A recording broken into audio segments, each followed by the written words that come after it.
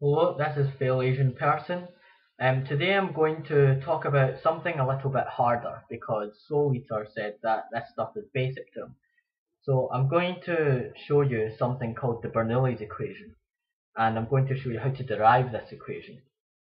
Now what this equation is about first of all is it talks about the pressure, speed and the height of something at point 1 and it shows you it's equal to the same things at point 2.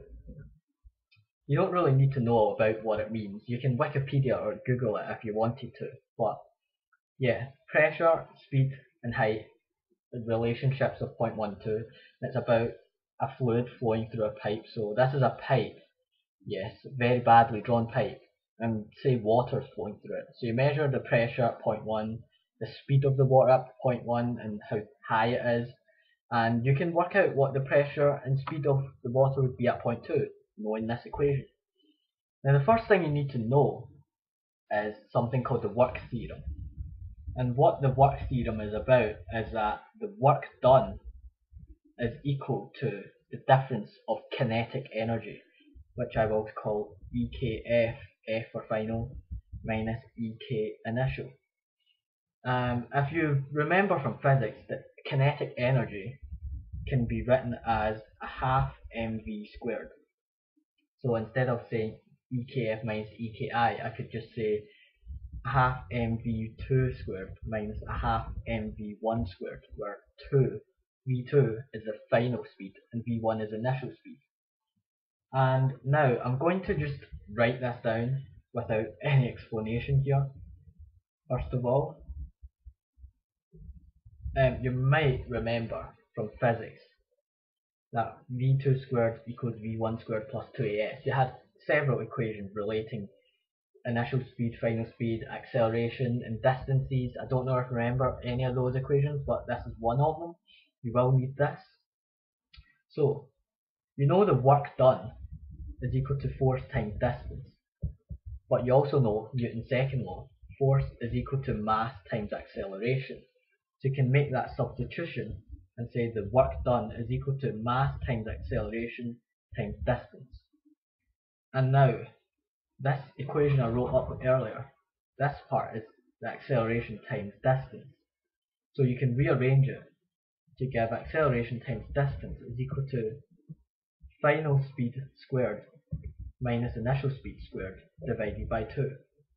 Substitute that in you get work done is equal to mass times all of that. And if you look carefully and break the brackets, what you end up getting is a half mv2 squared minus a half mv1 squared. So that's how you derive this work theorem, that the work done is equal to the difference of kinetic energies. So once you know that, we can start on the Bernoulli's equation. So first of all, to derive it, it is just a balance of energies with work done and kinetic energies. So first of all we draw this pipe. Now notice, although it's very badly drawn, the area at the second point is smaller than the area at point 1. And it's kind of climbing up, so let's see. The height here is smaller than the height there. And this we'll call area 2, area 1. The area is the cross-sectional area of the pipe. Okay, so water is flowing into this pipe and flowing out of the pipe. You know, it's flowing through this pipe. So given any time, if I say one second passes, then water would have flown so far. So let's give it a time of delta t. After a time delta t has passed, which is a very short amount of time, water would have flown from here to somewhere like here. So water would have travelled a distance a certain distance which I'll call delta x. I'll call this delta x1 because it's distance travelled into the pipe.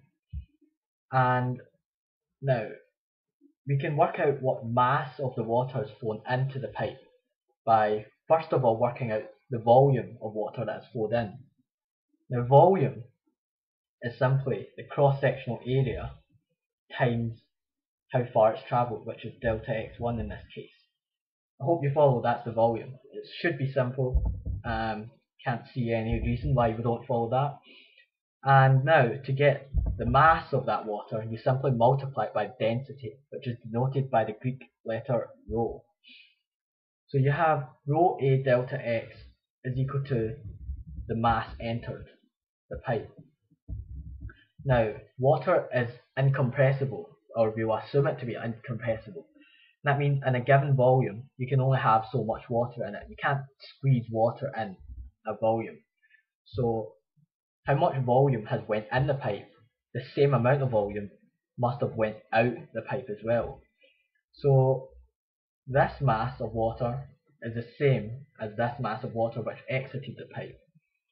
And that will also have travelled a distance of delta x, but I'll call this delta x2 because the distance travelled out here is not the same as the distance here because the areas are different you see.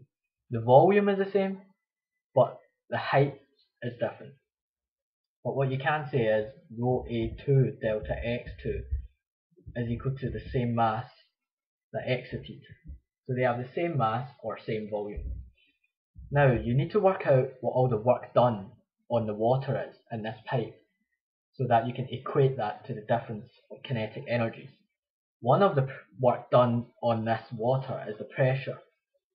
Work done on pressure is once again force times distance. The pressure forces is P1 A1, that's the pressure acting on this area, times the distance, which is delta x1, minus P2 A2 delta x2 because it's the work done difference.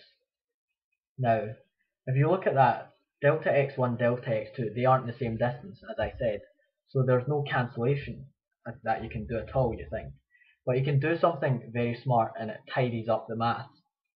If you multiply the top line by the density, rho, and also divide by rho to keep it the same thing, you can now group things together.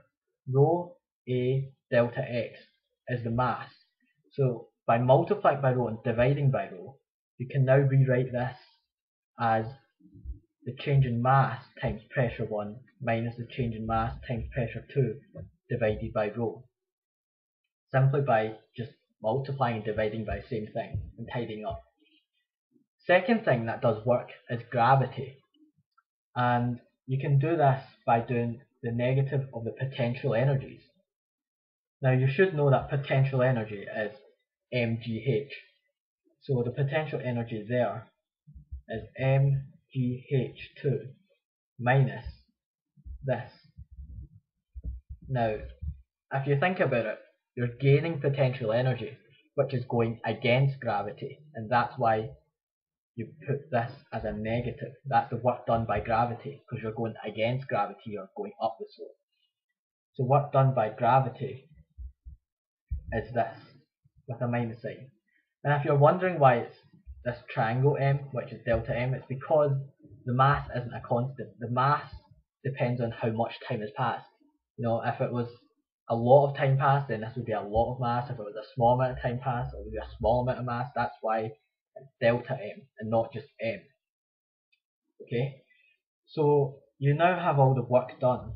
The total work done is equal to work done by the pressure plus the work done by gravity, which is this. So you have the work done. So now all you have to do is write down what the kinetic energies are.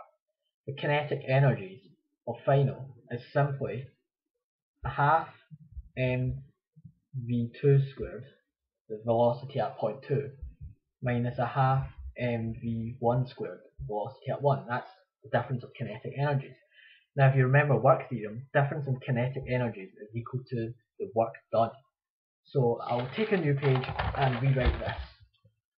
So remember, all the work done is delta m p1 minus delta m p2 over rho. Then add on the gravities, which is plus delta mgh1 minus delta mgh2. And that is equal to the kinetic energies. I can't really fit here, but you understand the idea. Now if you look at every single term here, they each have a delta m. So you can just cancel through every delta m on this equation.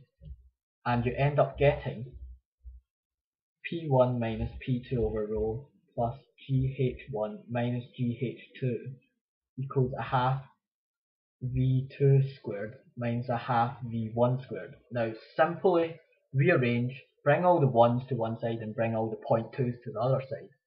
You will get P1 over rho plus V1 squared over 2 plus GH1 is equal to P2 over rho plus V2 squared over 2 plus GH2 and that is the Bernoulli's equation. So I hope that you followed that. If you don't then don't worry because this isn't anything close to what you'll have to do in high school. This is, you know, I know this because I'm doing you know, mechanical engineering in second year, so you don't have to worry about this. This is just to test if you really know maths, because to be honest with you, you haven't actually, I haven't done anything that you shouldn't be able to do here. I mean, it's just simple physics with the work done, and then simple manipulation of algebra to derive this. So you should actually follow this, but if you don't understand it, don't worry about it. Um, this is purely just because of Soul Eater's comment saying that this is basic for me, and I just wanted to see if you could follow this. So I hope you're enjoying your maths, I hope you pass our exams, and I'll see you next time.